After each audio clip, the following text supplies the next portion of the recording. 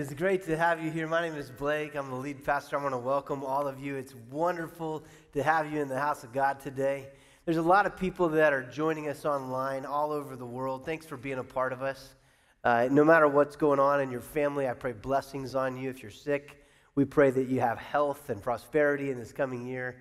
And it's great to have you as a part of what's happening here at One Church. So, uh, man, God's up to some great things at this church, and uh, I'm excited today to talk to you about it.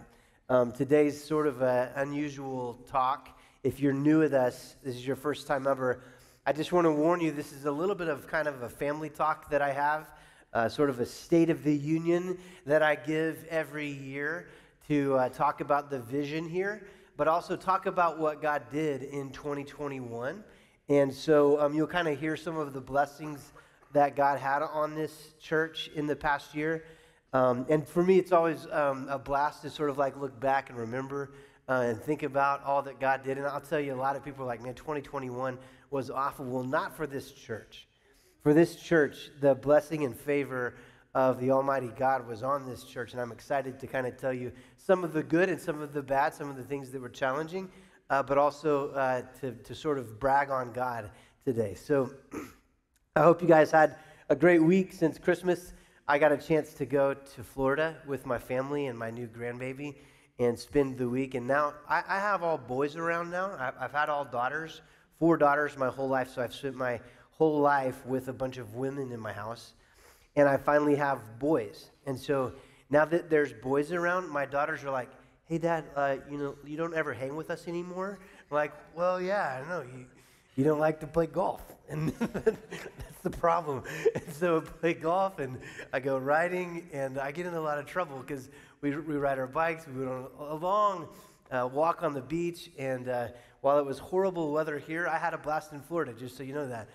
So uh, it was great to be, be away, but it's good to be back. And um, so today, um, I want to just tell you, start by telling you, um, one church, I love you. It's one of my greatest joys and honors of my life to be called your pastor. And um, as I go into sort of like this time of year and reminisce on all that God's done in just a year's time, it's overwhelming to me. Uh, and it's very humbling to get to share with you sort of what God's done. And so um, th- there's a word that goes along with the idea of a vision. When God gives us humans a vision, um, it's, it's sort of like He gives us this divine inspiration. He gives us a purpose. And when we're given a vision from God, um, it's like this new revelation or a dream. Some, you guys know what a vision is, right? When you, when you give like, I've got a vision for this, and I don't care what it is, unless it's inspired by God, there's no life in it. God gives life. All life belongs to Him. And so this kind of a vision is actually a Hebrew word called chazown. Everybody say chazown. You hack a loogie and then you say chazown, right? It's a blast. And so um, I wouldn't turn to the person beside you when you say chazown, but uh, chazown is a way of, of saying to God, I, I want you to give me a divine inspiration.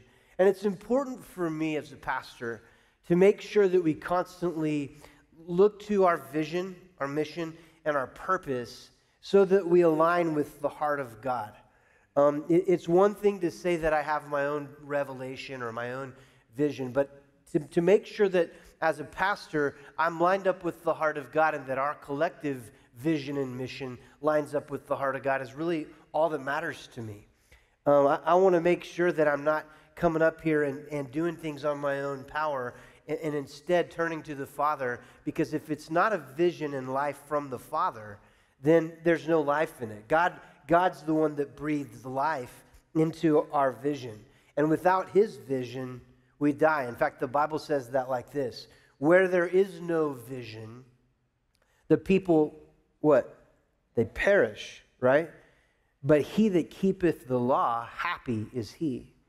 Um, when, when we obey and walk in the power of the Spirit, there's a life that comes from His command that brings order, right? His sovereign control and His absolute truth is what keeps us on the guardrails. And so, delighting in His law is actually what brings happiness. And so we have a tendency to try to think that this world is going to bring happiness by doing whatever I want. And that's what's going to bring me happiness. I'm going to make myself happy by being able to have all the things I want and do whatever I want. But the truth is, the more that I walk in holiness, that's really how I experience happiness. And that's true for my family. It's true for my wife and I. It's certainly true for my kids, right? When my kids are walking in holiness, that's really cool. And obedience is really where you find ultimate happiness, right? And so, if I've learned anything in the last two years, it's that when there's uncertainty, it, it breeds anxiety and stress and worry. And uh, when there's times of uncertainty, people either embrace the change or they do everything they can to keep things the same. They die trying to keep things the same. When, when this last two years has proven that nothing is the same, things are different now. And so, my prayer is that in, the, in, in a world that is certainly uncertain, that our heart would not be uncertain, that we would not be uh, wavering. That instead, my prayer is that God would keep us on mission like never before, and we'd rest in and trust in God's sovereignty. How many believe that God is unchanging? He, he's, he's unchanging. And so, if there's anything that I'm certain about, it's that I can trust in the sovereignty and the un- unchanging heart of my Savior Jesus. And so, um, this last year, I, was blown away by watching this church pivot. If there's anything I've seen in the body of Christ, it's that when the world throws evil and anger and hatred and bitterness, w- what we do is we go, you know what? You guys can be that way if you'd like to, but I, I'm going to rest in the promises of God, and I'm going to show the world what it looks like to have hope in the midst of despair, to have love in the midst of hatred. And I've, I've watched this church do that over and over again. Uh, when, when the world's going crazy, uh, I've watched you learn, learn how to throw an audible and uh, to be the, the brightness of, of the kingdom of God in the midst of utter darkness. And so, um, what, what I've loved to see is that um, the, the mission of this church is timeless uh, because our God is timeless. He's unchanging, and the mission of this church will not change. And that's to passionately love God and intentionally love people. That's what we do here. And that's what we're about. If you're new here, that's what we talk about all the time is that to passionately pursue and love God and to intentionally love God's people. And so um, our, our church is on mission. And I believe that that right there is a God sized chazown, right? To, to have that is something that we can do the rest of our lives. And I've watched you this year bring hope in the midst of despair. I've watched you, one church, be united when the world is divided. I've watched you give grace and help seek to understand. It's times like this that I, I realize really fast what the body of Christ is really all about. And I've seen you turn to the scriptures and find your hope in the Word of God when, when this world says everything is, is crazy and nuts, right? I've watched you say, I, I want a new and fresh vision from the Father. And so um, I, I want to make sure and be clear that as your pastor, it scares me to death that I'm doing this on my own power. I want to walk in the power of the Holy Spirit. And every single week when I show up, I hope that I'm resting in His power and not my own. Because when we do things according to our own will and our own wisdom and our own strength, we overrule the, the Word of God. And we're choosing to, to choose my plan instead of God's plan. And so our human nature is to usually do things uh, that are inclined towards evil, right? We, we're very gifted at sinning. At least I am. It uh, came very natural for me to sin. And so um, I, I, want, I don't want to walk in selfishness. I want to walk in selflessness. And so, because of that, it's important that we, we don't walk saying, God, I'm going to do things the way I want. Instead, I'm going to turn away from that spirit of rebellion and rivalry, and I'm going to act as the sons and daughters of God that walk in submission and surrender to the Father, right?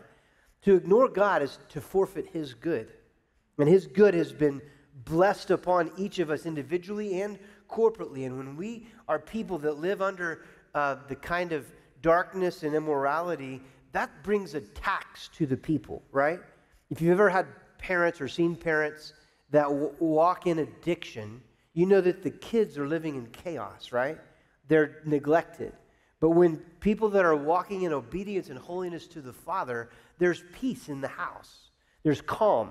There's, there's uh, uh, joy in, in the midst of a world that's chaotic. And so that's, that's what I've seen the body of Christ become. In the midst of a world that's unruly and unrighteous, uh, it's, and, and there's this spiritual warfare that's on the, in the world right now, it's made me go, I'm so glad that I'm battling for the kingdom of God right now. More than ever before, if there's ever been a time to go, I'm going to stand for what's truth. I'm going to stand for justice. I'm going to stand for what's right and what's good. I'm going to be a part of the body of Christ that's actually bringing change in the world. It's now. And I'm fired up to be a part of that. And so he, here's what I would say to you. What if, what if, what if we had this like God sized chazown? A vision that was just massive kingdom vision where we actually became a different kind of human. The kind of people that look like the people of God. I, am praying God would give us that kind of vision. The kind of vision that says, I, I have this God inspired dream. Maybe God's breathing something into you right now that He's saying to you, I want you to do that. I want you to go after that. I want you to do this thing, right? Pay attention to that. Pay attention to the voice of the Spirit of the Lord that might be saying, hey, I'm giving you a revelation. I'm giving you a, a chazown. What will, what will it be? And what will you become in the process? Because what's really weird, what's weird on planet Earth, is to see people that actually listen to the voice of God and do what he says.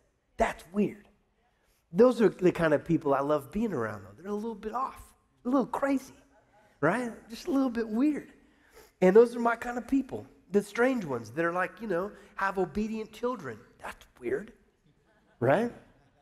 That have uh, husbands and wives that like actually like each other. That's weird, right? People that are, are like filled with love and like are kind. That's weird. People that have this inspired vision, a divine purpose. That's the kind of people that Yeshua came from heaven to actually create here on earth. A new kind of people, a new tribe, a new nation, a different kind of people that don't operate according to the standards of this world, but they look like heaven. They actually look like their Savior, Jesus, who, who's gentle. The kind of people that breathe life into the earth and they make it bud and flourish Everything around them comes to life. There's, there's healing in their relationships. They give value to humanity. They turn away wrath and anger and bitterness and jealousy and slander and hatred. That's not who they are. They're the kind of people who liberate the oppressed and set the captives free. They're the kind of people who feed the hungry and help people find shelter. They, they help those that are needing a drink to find thirst. And they're, they're the kind of people that, no matter what, they, they breathe love into the world, and, and humanity is better because they're there. That's the kind of people I want to hang with. That's the kind of church that I want to be a part of. People who delight in the goodness of God and actually love to listen to his commands and do what he asks. Don't you want to be around that? Yeah? So um, I'd like to talk to you for just a second this might feel like a little bit of a commercial, um, but I'm going to tell you some of the things that God did here. And I, I just want to remind us of what we all witnessed. Um, and I'm calling it What God's Done in 2021. All right? Kind of rhymes. I like that. And so um, I want to start here. Um, and while I do this, if you feel like it's necessary for you to get rowdy, that's okay. If you want to dance and jiggy, it's fine. So I, I want to start with the fact that in the last two years, three years of this church, about 15 to 20 people uh, gave their life to Christ and were baptized because of this church. But in 2021, would you believe that that number tripled and there was over 60 people that gave their life to Christ and were baptized at this church. Amazing. Um, I don't know if I'm supposed to talk about this, but you know, I, I, I'm the lead pastor. I'll do whatever I want. And so, our giving this last year was remarkable. You guys were incredibly generous. And um, there's been no year in the history of this church that this church has actually made budget. But this past year in 2021, we didn't just make budget. We weren't just like a few hundred dollars over or a few thousand dollars. Would you believe that we were $333,987 in excess of our yearly budget this past year? What the heck? Amazing. And so people are like, man, 2021 was awful. I'm like, no, it wasn't. God's hand and blessing was on this house. And we grew in ways that, and you know what's crazy is, another thing that I think is a principle we need to pay attention to this church gave more money than we've ever given in the history of this church. It gave over $200,000 away, and we were still in excess that much. I think that God's showing us something, right? You, you choose to give, and He chooses to bless. And so I, I don't know. That just blows me away. Um, we also uh, had the greatest attendance that our church has ever had. Uh, last year, to give you an understanding, at our Christmas Eve services, we had just over 800 people. Well, this past December, just two weeks ago, we had 1,400 people that came to be a part of our Christmas Eve service. Plus, there was more than that, but. so, um, some of the things that blessed me the most is that I have a new dear friend that came, was called by God to be on staff here and his name is Kevin and Cindy Tuttle. And they came to be our executive pastor, and he just sort of brings order in the midst of chaos. He's great at systems, he's great at helping um, uh, build all of the infrastructure that we desperately needed um, for our staffing and our office space and our to lead and guide um, performance uh, stuff for our team. And um, he's been such a blessing to my life as a friend already and um, he's, he's just doing a phenomenal job. Another thing that I'm excited about is we've had um, an interview with six to eight new youth student pastors. And so um, we have our first candidate that's flying out here next weekend, and his name is Austin. I want you to be praying for him and his wife, to, that it would be the Lord that does that and directs that. Um, in the coming year, we're going to hire several new staff. Um, we, we need a full time IT, what I call a digital ninja uh, that can help us with all of the website and all of the graphics that, you know, video, all of that. It's a big job, so be praying for that and be praying for a group's missions pastor to be called here. Um, so I, am seeing God bring a, a, whole new team that's alive and filled with the Spirit of God. And um, I'm, I'm, just seeing God do something r- remarkable.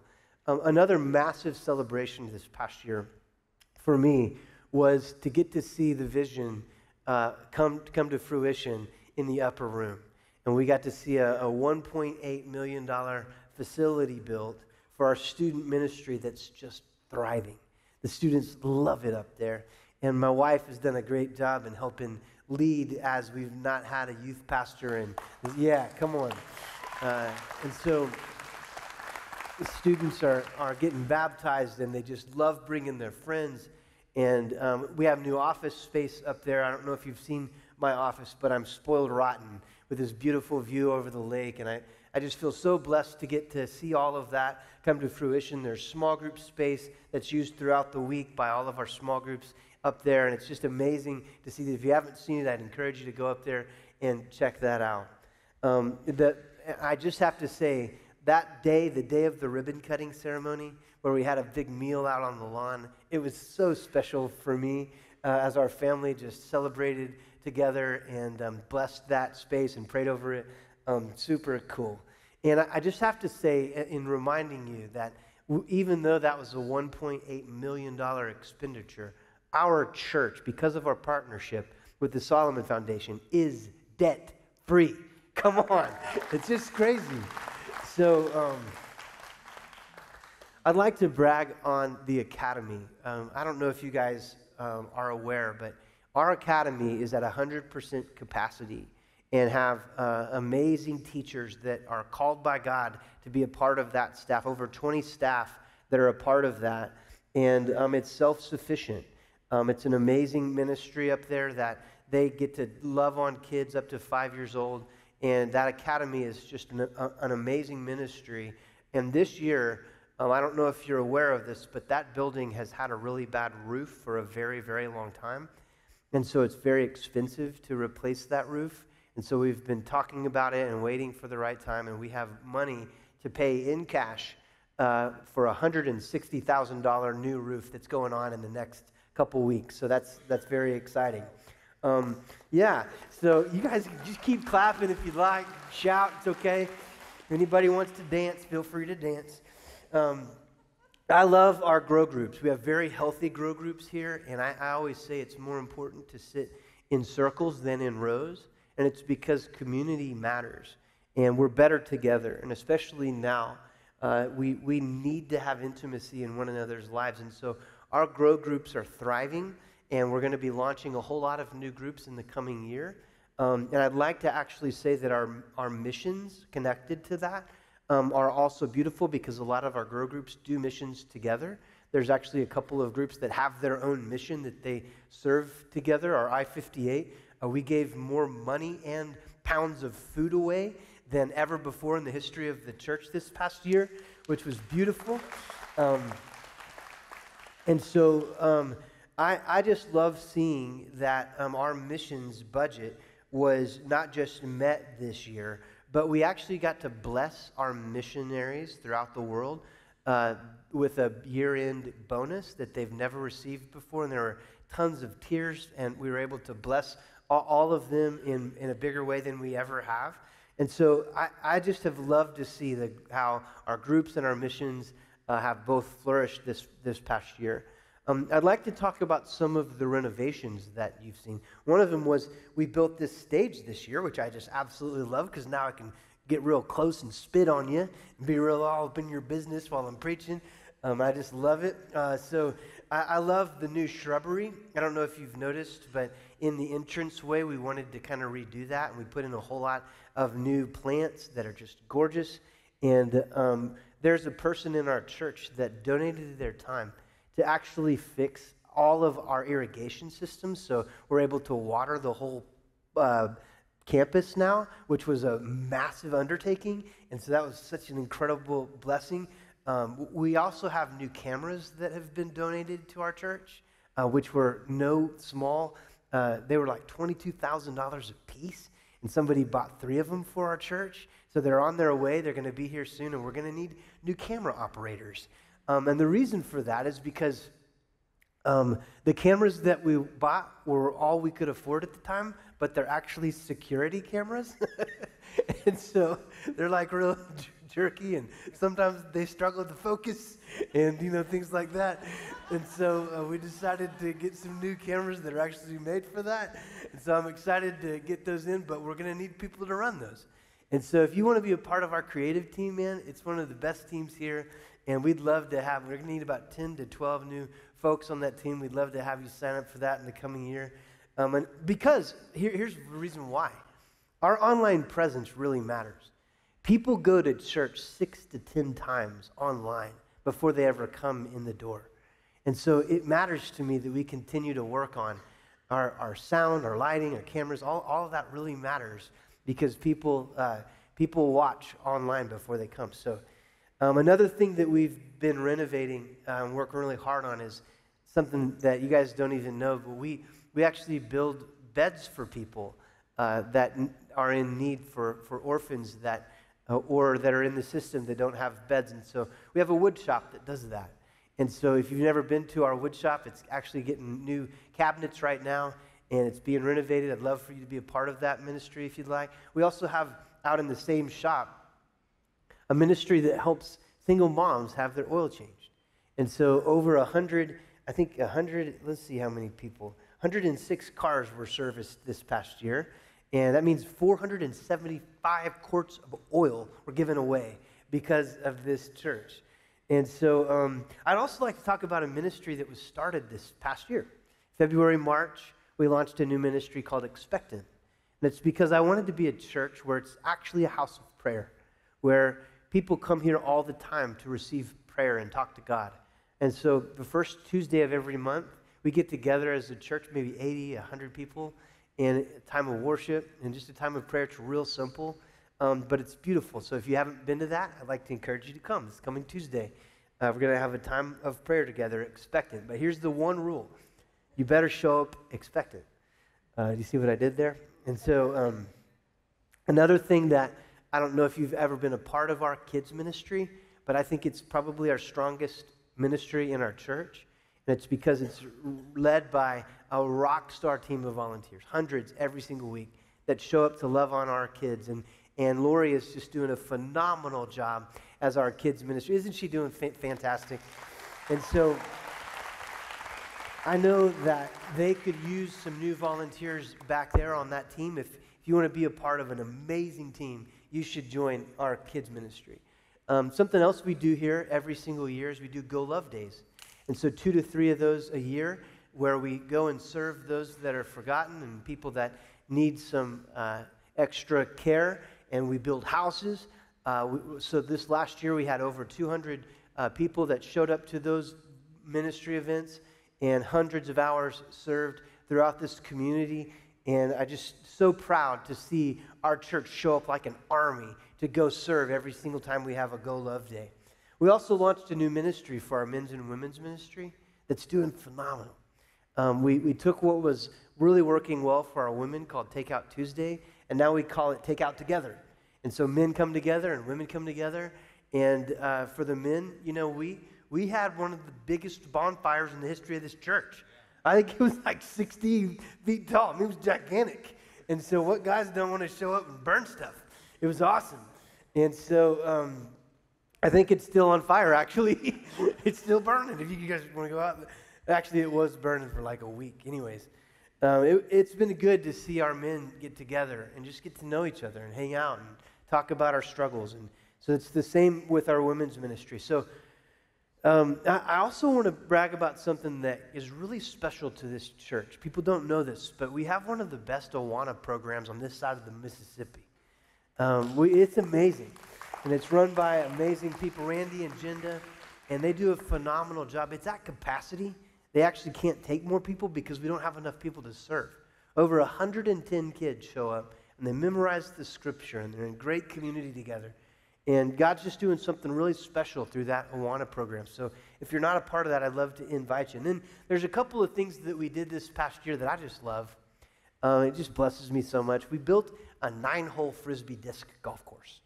And that's mainly because I love frisbee disc golf. And so since I'm your pastor, I wanted to build it.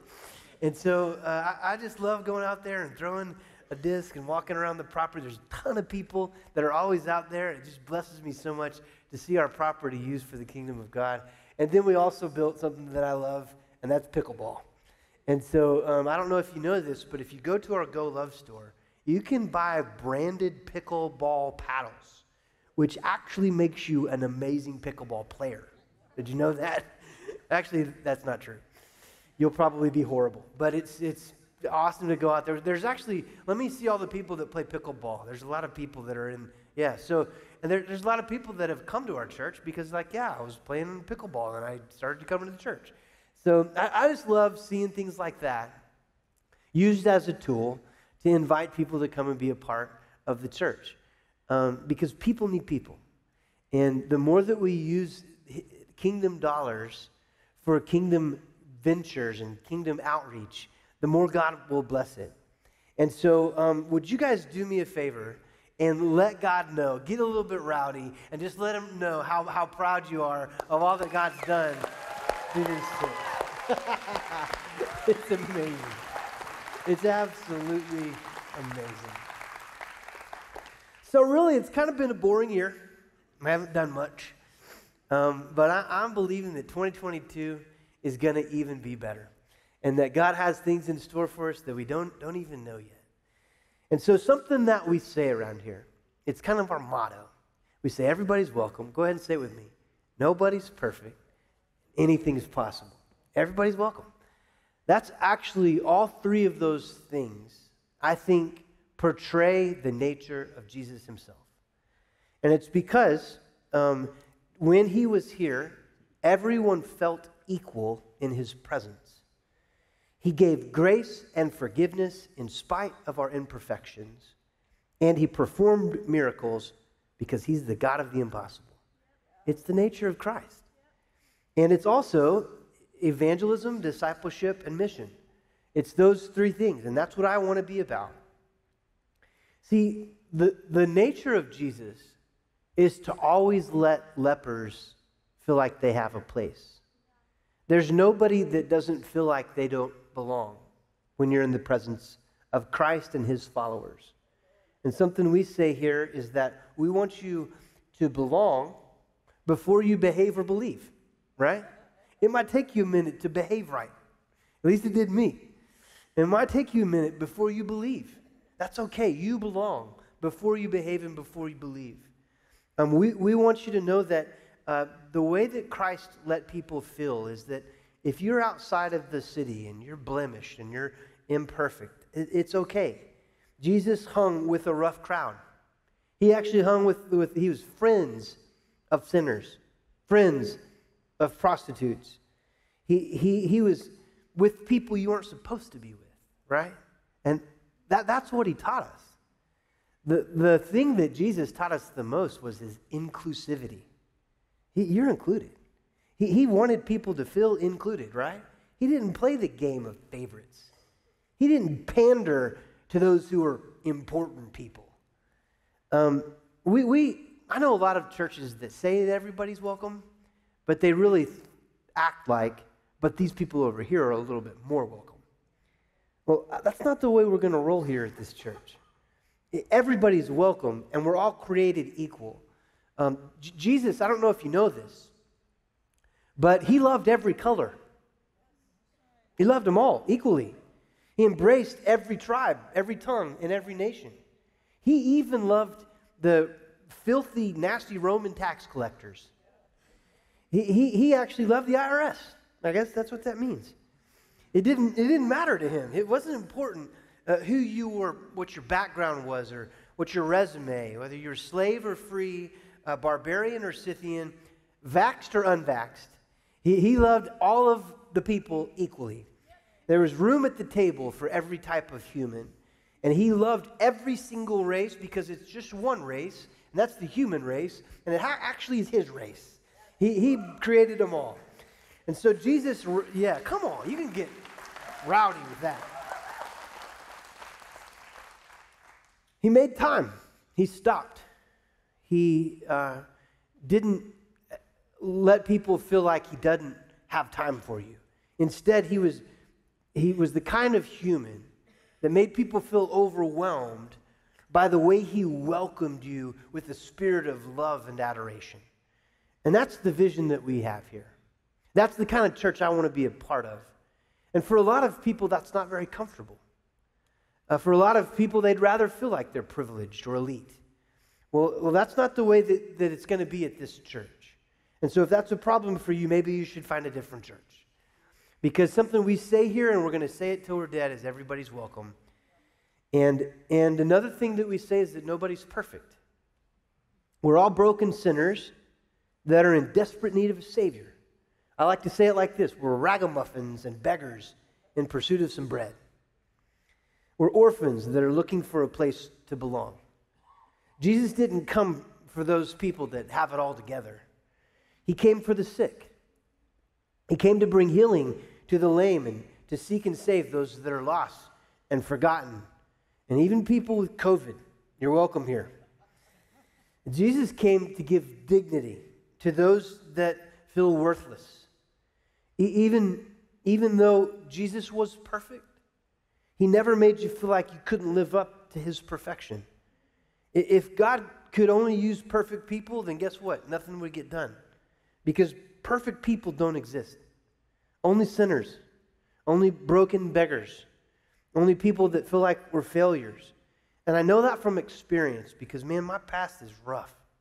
Let's just say that it's really colorful. And if God can use me, here's what I know then God can use you. So I'm just saying, if you're perfect, you, you might not fit in around here. And you're going to mess up what we have going. So, so by God's grace, God chooses to use unschooled fishermen, common folks, and, and imperfect people. So let's stop acting like we're perfect and get busy loving people just as they are. Amen? So, nobody's perfect. And finally, uh, we believe that anything's possible. Like, really, anything's possible. Um, I think the number one thing that we're going to say when we get to heaven is, I just love this. when we get to heaven, we're going to bump into people like, how the heck did you get here? I really think that. and everyone's going to be like, I don't know. I have no idea. Bumped into Jesus, he cut me a deal, and uh, I'm proof that anything is possible. And so this has been my prayer since I came here, since God called me to this state and became a Georgia Dogs fan. Um, see, anything's possible. Things can change. Like, you can't say that yet. You're still OU bound. I understand. I still love the Sooners, but I'm starting to have a little bit of roof in me. And so, um, anything is possible. Um, I, I have to tell you a prayer, though, that God put on my wife and I's heart from the very moment that we came here. And it was a prayer that was given to Habakkuk. The prophet had, had come back to Israel, and the landscape was completely different. Um, the land was dry and weary, um, but he had a vision. He had a chazown that was given to him that God would breathe on the land and the land would come to life. And so in chapter 3 of Habakkuk, there's this beautiful prayer where he's asking God to restore and renew what's been lost. See, the Babylonians had come into town and the Israelites had been in captivity and they'd been living in exile. And so when they came back, they found it in ruins. All had been lost, utterly destroyed. There was complete chaos. And Habakkuk's looking around and he's going, How are we going to fix this? What a mess. It's on fire. It's so broken. How can we get back to where we were? How can, how, God, can we find restoration in the land again? And the prayer is really simple Lord, would you do the impossible? And so in Habakkuk 3, there's this prayer that says, Lord, I've heard of your fame. I stand in awe of your deeds, Lord. Renew them in our day, in our time. Make them known. In wrath, remember mercy. Habakkuk is simply saying, God, I, have heard about you. I've heard about the fire from heaven. I've heard about the Red Sea being parted. I've heard of your fame, and you are famous. Yeah, I know you've delivered people in the past. I've heard all that you've done, and I stand in awe of your mighty works and deeds, Yahweh. Would you do it again? Would you do it again?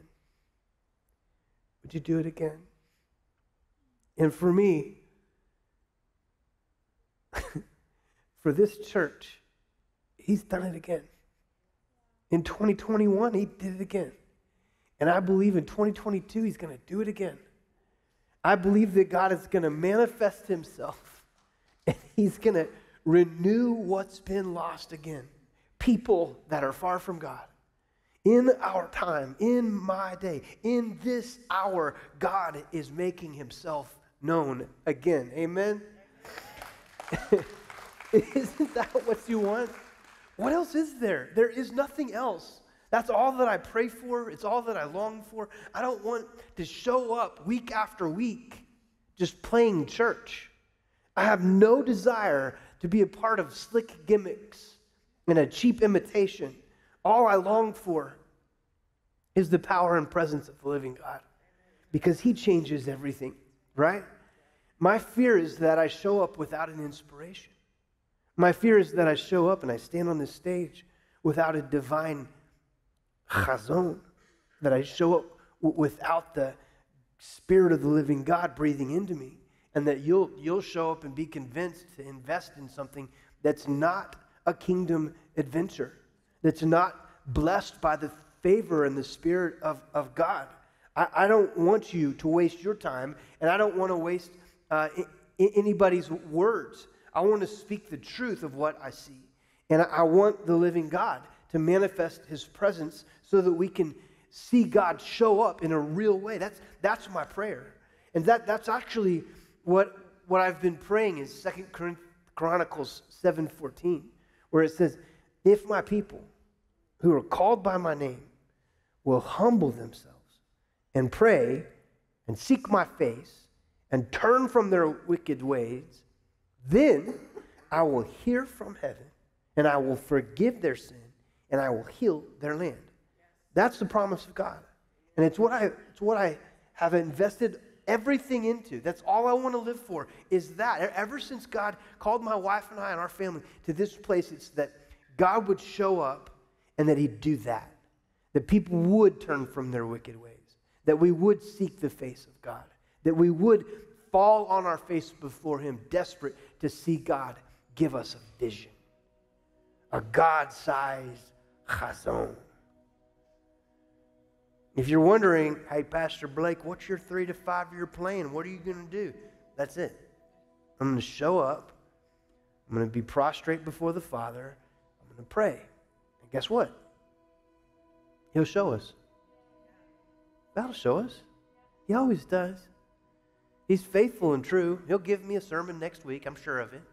But between now and then, I'm going to stress out like crazy right? I'm sure that God's going to take care of what we need. He's going to give us the money that we need. He's going to give us the house and the shelter and food, and He's going to take care of us. It's going to be fine. 2022 is going to be amazing. And so, this year, I want us to start the year with a 21 day prayer and fast. Um, and I want us to take some time to say, God, would you give us clarity and wisdom? Would you, would you give us a fresh chazown? Um, I, I don't want anybody to feel obligated, but I'd love to challenge us as a church to seek first the kingdom of heaven. That's what we do here. We seek God first. And so here's what I know about fasting. Anytime we fast and we take the discipline to replace the things of this world with the things of God, there's a breakthrough. And I want a breakthrough. I want to start off with a, a new, fresh heart for God, for, for not just me individually, but for us as a body of Christ. And so here's the plan. Next Sunday, on January 9th, um, through the Sunday of January the 30th, let's read along together. And there's a Bible app called YouVersion. It's from my old church in Oklahoma City. Life Church, and they have this incredible, the Holy Bible. If you have it on your app, I'd like you to get that.